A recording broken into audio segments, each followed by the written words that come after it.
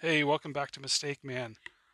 So, in a previous video, I introduced my model of the USS Defiant from Deep Space Nine, and I explained everything I've done with this model up to this point, just to kind of catch everyone up, um, so that we can kind of start doing a build series with what I have left to do on this.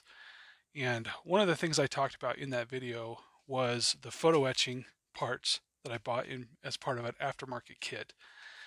Um, part of this uh, green strawberry aftermarket parts. It has some plastic parts and a couple of photo etch detail pieces, a couple of sheets of detail pieces. And so I was talking about some of those, and some of those I had to uh, make a dark color. I had to, like these uh, grills on the back of the warp engines. Um, that those were part of the photo etch kit, and um, you know they wouldn't look right if they were just the the plain brass finish. So they needed to be dark, and I decided I didn't want to paint them because I wasn't confident that I could get a nice even coat of paint on there that wouldn't be all globby and thick and just uneven. Um, but I knew that it was possible to use certain kinds of chemicals to blacken brass. And since that's what this photo etch material is made of, um, I decided to give it a try. I didn't know what chemicals were involved.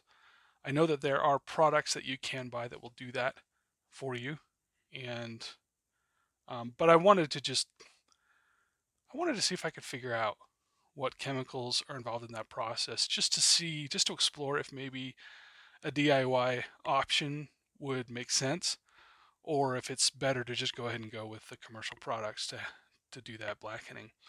So I did a little bit of research online and I set up some experiments to try and figure out which chemicals would I would need in order to uh, blacken the brass. Um, I tried alcohol, like isopropyl alcohol. I tried um, acids like vinegar. I tried acetone, just, you know, like strong solvent type chemicals that I thought might react with the brass. Um, and I also thought from doing some research online that maybe ammonia was would also help as well. So I tried windshield washer fluid. None of that stuff did anything to the brass. Um, I tried salt, like salt water. Um, I'd heard that the ammonia can do the trick, and so I had to find something. I tried actually just getting some ammonia from Walmart, that, but it had like other stuff in it, and it didn't actually do anything to it. Um, but I also had, if you're familiar with a product called Brasso, which is a brass cleaning substance. It's kind of like a paste, and it's got some like abrasive stuff in it, but it's also got really strong ammonia. Or at least it's you know the smell when you open the Brasso, it smells really strongly of ammonia. And so I thought we had some of that, so I thought oh, I'll give it a try. And so I put it in the the Brasso, put just you know cut off little little clips of this uh, flashing this extra material out here, and cleaned it up, cleaned off, make sure there wasn't any oils from fingerprints or anything on there and kind of sanded it a little bit just in case there was like a surface layer of oxidation. And uh, put that in the Brasso and it did uh, start reacting with it. And so I thought, okay, that might be the trick. Um, but it didn't, it seemed like it didn't have a very strong reaction. So any, uh, some way along, somewhere along the way, I thought, okay, if it's the ammonia that's doing it, ammonia is a gas, and that's what's coming off of that Brasso paste that makes it smell so strongly. So maybe if I suspend the brass above the surface of the Brasso and then enclose it, you know, put it in a closed container so that the ammonia stays trapped inside, maybe the gas will react with it. And that totally worked. It, it worked really well. And once I kind of figured out the process of kind of suspending the parts over the surface of the Brasso paste and it really gave it a nice look to it. I decided to go ahead and go for it and it's got a nice dark color to it. So turned out really good. I didn't take any video or even any photographs of the process of blackening the photo etch components for my Defiant. So I thought I would actually just, I still got some pieces left over, some scraps and some parts that I'm not going to use. So I figured, well, let's, I'll just show you the process. I'll show you what I did to actually use the Brasso to blacken that. So with the Brasso here, like I said, this is normally for cleaning and polishing. It's got that critical ingredient, I think is the ammonia, which is what makes it hap makes it go black. So first thing I'm going to do here is I've got this piece here, which is, it goes on the underside of the model. It's intended to replace this section right here where the hole is to uh, make it look like the shuttle bay that was shown there in later seasons of Deep Space Nine. Um, which is a great little detail that they give you the pieces for that, but I'm not going to use that because I'm going to be mounting this on a stand, and with my lighting going through there, I need that hole there, so so I'm not going to end up using this piece, and so I'm going to use it as a demonstration. So the way this worked for me in the past was to suspend this stuff the parts above the Brasso and then let the ammonia gas that was coming off of it work its magic. Um, and the easiest way I found to do that was to just use this extra uh, sprue material to and, and fold it into a support to, that'll hold it above the the Brasso paste. I'm just going to cut that off.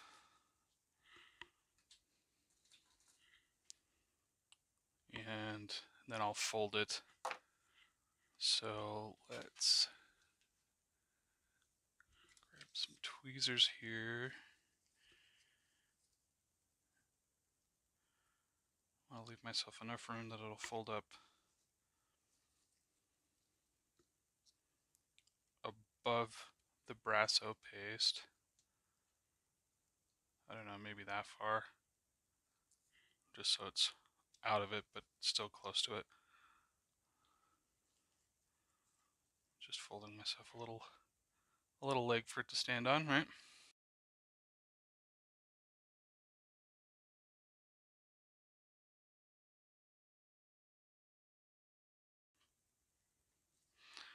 All right, something like that. It doesn't have to be straight by any means.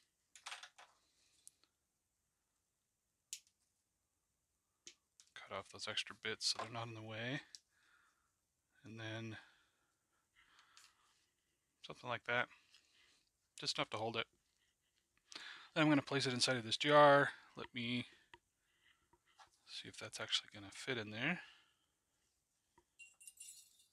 So that's going to fit. I'll have to be obviously more careful about how I lower it in there for the real deal.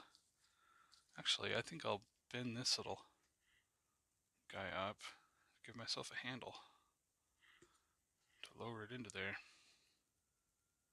There we go, because I don't want to just like blob it in there and I don't really want to get Brasso on the part itself because I think that's going to give it some uneven blackening if I do that. So, alright, so that'll work.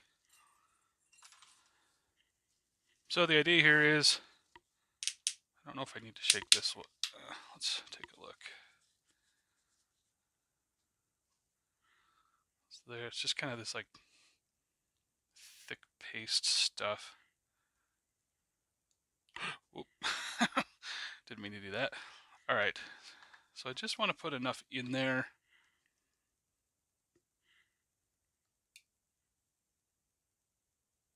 That is going to give me a nice, yeah, I can already smell it. The stuff smells strong very strongly of ammonia.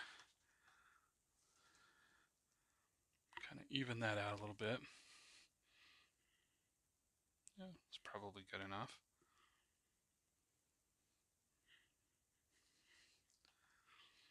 Okay.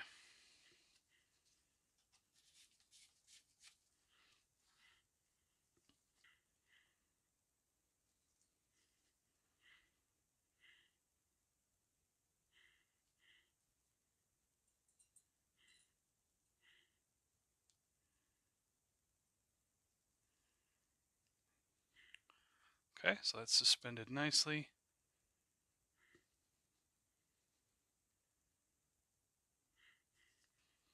So let's seal that up. For one, to protect my nose because the stuff smells strongly.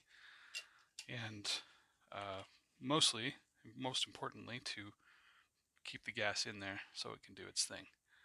So I think I'm going to set up a time lapse so we can uh, watch the magic happen. I don't remember how long this takes, so I'll let you know when it's done. At the points where the brass submerges into the paste, you can immediately start seeing it turning a blue color and fog starting to build up on the sides. At the points there where the jar moves, that's actually where I've opened up the lid and lightly blew in fresh air. The idea was to maybe, you know, if it's oxidizing the brass, maybe it's running out of oxygen, and so I just introduced a little bit more by blowing in every few hours, but I don't know if that actually helped or hindered. It's hard to say. Not sure what all the variables are, but you can start to see the main part itself is starting to darken. The legs that are folded down have almost completely blackened and they're starting to turn blue.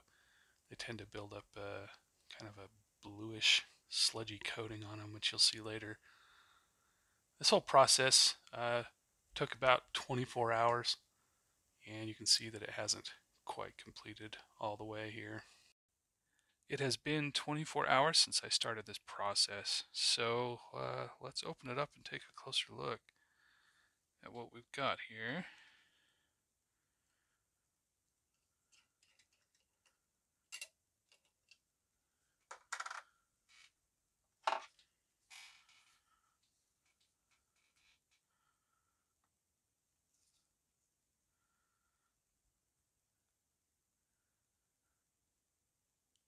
So obviously it hasn't fully completed.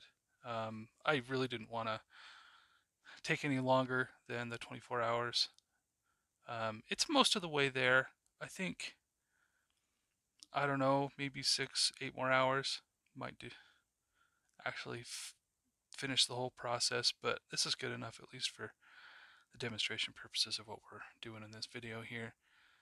Um, I think maybe if I had bent those tabs on the bottom so that this was just the part ended up being closer to the paste. It might have gone faster. As you can see the stuff down low is pretty much completely blackened. It looks blue in the video. Well and it does in person as well. Um, but I found that uh, that once I rinse this off with some water that blue tint goes away. And it's just a nice nice black color. So I'll show you that in a minute. But So I think if I'd maybe mounted a little bit closer, it might have gone faster. I don't know all the variables that factor into how this process works. Um, but anyway, this is, let's go ahead and uh, let's pull it out of here. see if I can do this without bumping the camera too much.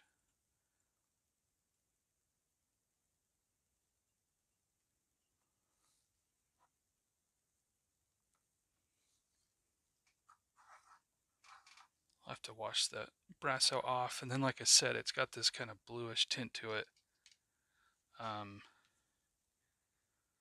obviously, where it was actually submerged in the brasso, it's got the bluish tint, but also even the stuff that was above, like you can see on that that bar there, was not submerged, but it's very blue, and it's got this like wrinkly, it's got this wrinkly coating on it. But uh, we'll go wash that off with some water, and I think you'll it should just end up looking nice and black. At least that's what happened. That was my experience with the other parts. So uh, let's go wash this off.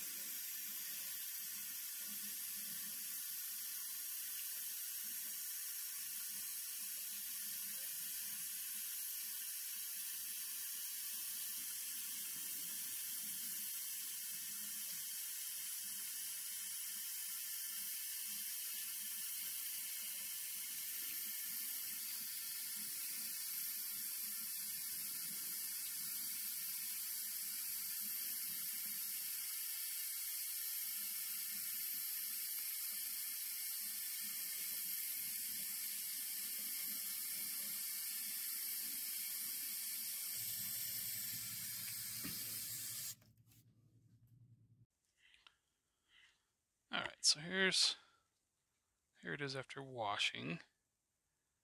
And obviously there's there's still some crud on there. You still see that kind of bluish greenish tinge.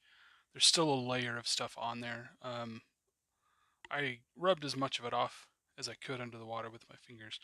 Um, but th that stuff will come off. It just takes a little bit more effort to do that. So I'm going to try and do that with this paper towel here.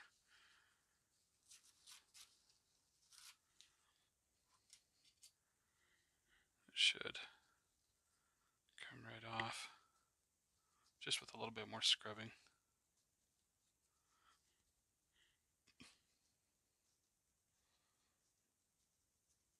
Need to pull out a brush.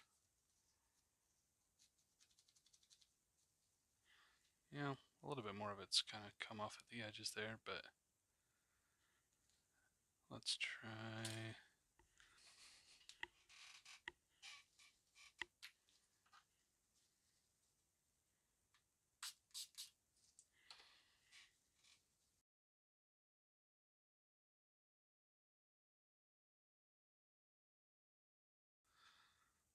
Little bit, not much. It's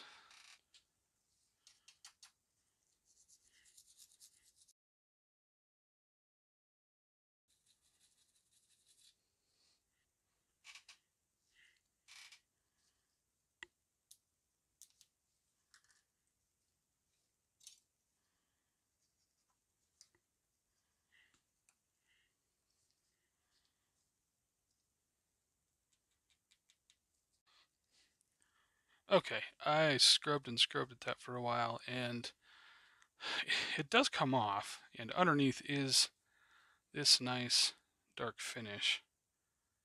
Um, but it is a lot more difficult to remove than I remember it being. I tried, you know, just cleaning it with a brush, with damp paper towels. I tried like some cut off pieces of sprue, and that kind of helped, but still I had to push on it really hard and can see I've managed to deform the plastic quite a bit. It was very, it's very difficult to remove that crust on that piece, but on the top half, it came off relatively easily, more or less with just my fingers under running water, and then a little bit, uh, scrubbing a little bit harder with the paper towel got rid of the rest of that. Obviously the stuff that's down inside those little etched uh, text, that's not coming out easily but and, and there's like one little stubborn spot right there. Um, that came off relatively easily, and as you can see, that finish, that black finish, it looks good. It's nice and smooth, and doesn't get all marred up from me trying to remove.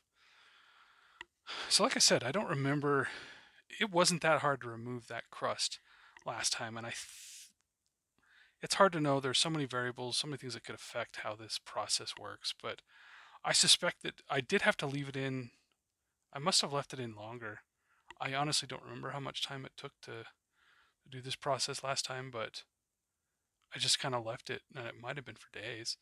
Um, I obviously would have had to leave this piece longer in order to get the full coating because there's still some brass color showing through there. So, and I think basically when I was done, when I pulled the parts out and cleaned them up last time, they all had that like wrinkly uh, muddy stuff that was on that wrinkly paste that was on the outside. And just like this part here just like this part here. And that that was the easiest part to clean up. And like I said last time all the parts were just coated in that stuff. And so it was pretty easy to clean up. There were a few stubborn spots last time but just a little bit of scrubbing with a, a brush. And also like a little like a toothpick, something that was wood that was soft enough that it's not going to mar the the black coating that we're going for, but uh, hard enough to pop that crust off of there.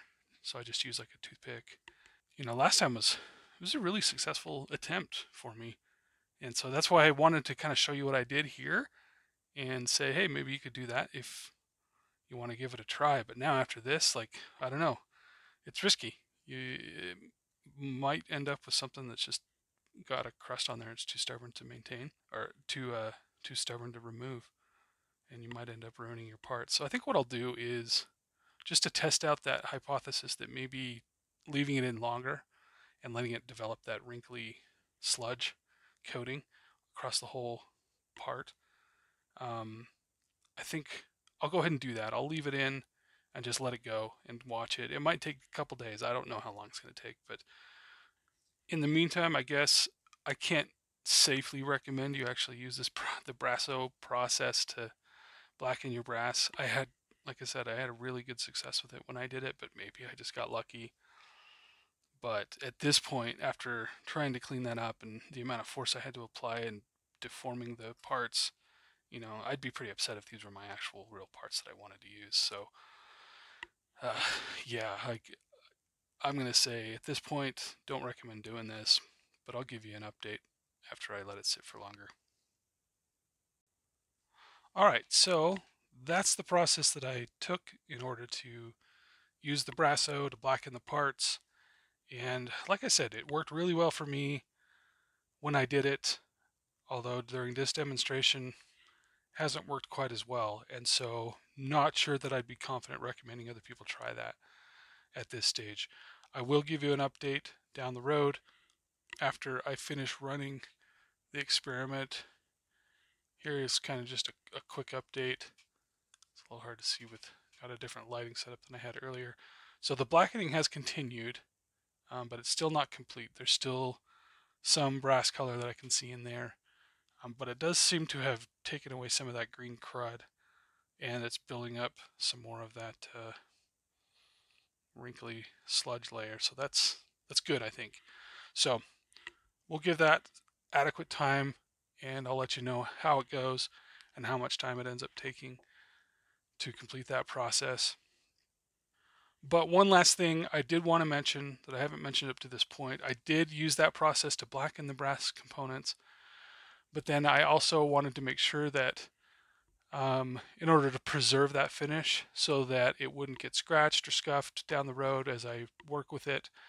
And also wasn't sure if further exposure to oxygen in the atmosphere would continue to change the finish, whether it would make it darker, make it lighter, make it do something entirely different.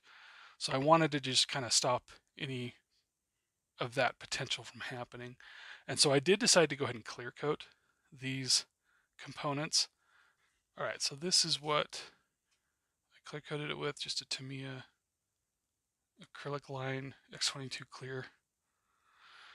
And I just thinned out a little bit with some of the Tamiya thinner and uh, ran it through my airbrush and airbrushed over these uh, this these grill parts on the warp engines. Um, I, I did that before I installed the grills in and it turned out fine. Um, obviously, it kind of goes against my initial concern of not wanting to paint it because I was afraid it would glop on and look uneven. Um, and you know, I guess that still might have been the case if I had put enough coats of paint to make it look the right color and then clear coat it afterwards. Um, but the, the clear coating itself didn't do anything noticeable to the, the, the final finish. I mean, it's a little glossier than it was, but that's fine. In the future, if I had to do that, I might just go ahead and go with a, a product that's intended to do that, one of those brass black brass blackening products. Um, but it was a, a, fun, interesting experiment to try and figure out how to do that. I'll probably, I'm sure I'll do more photo etch stuff, and if it needs to be blackened, I'll try one of those products. We'll see how it goes. Okay, I've got an update on that uh, photo etch part that I put back in the Brasso just to see how long it would take to fully blacken. And as of now, it's been back in here for 31 additional hours. And you can see it's definitely gone all the way now. It's got kind of like a bluish liquid that's developed on there. You can kind of see it dripping there. So it doesn't quite look the same as it did before with that like wrinkly layer of, of sludgy stuff. Um, there we go, there's some better light. And it almost looks kind of greenish, like in the sense that maybe there's still some brass color shining through. So I don't know. I'm going to go and uh, I'm going to pull this out and go rinse it off with some water. I'm not going to film that because I want to do it pretty quickly. Um, just because I'm starting to suspect that maybe having exposure to air is what's making it more difficult to remove that like crusty layer that builds up on there. Although, I don't know, maybe the crusty layer is not there now. But anyway, I'll, I'll go rinse it off and bring it back and show you what it looks like. All right. So I've cleaned it off. As you can see, there's still still a layer of that uh, greenish crud on there. So, I mean, the whole part has been, well, I don't know if blackened is really the right word, but it's had its color changed anyway. I mean, it does have a, a dark finish to it, but it's not like a nice, smooth, even finish anymore. If you can yeah, and you can see it's kind of bubbly and bumpy looking. Does not look good. So, yeah, I have to say at this point, I couldn't recommend doing this method to blacken your photo etch parts. I, you know, the when I tried it on the parts for my actual model, it worked great. I had great results, but I don't remember exactly what I did or what I did different this time. Uh, you know, to say what works and what doesn't. So, yeah, I don't think I'll be doing this again. Because, yeah, that's just, it's too risky. You, you end up ruining your parts just to, I don't know. Yeah, it was an interesting experiment. And uh, now we know it is possible, but don't know what the variables are that make it work. It's also interesting that like some of the parts that were submerged in the Brasso paste itself really didn't change color.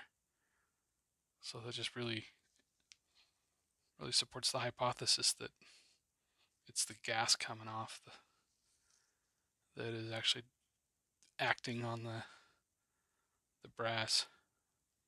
I'm not a chemist, and I don't I don't know exactly what's happening here. I don't know if this is oxidation or some other kind of reaction, but yeah. That little leg is barely hanging on. So, anyway, there's our update. Interesting process, potential to work, but probably too risky that wraps up my adventures in learning how to blacken this brass. And uh, that's it for this video. So thanks for watching.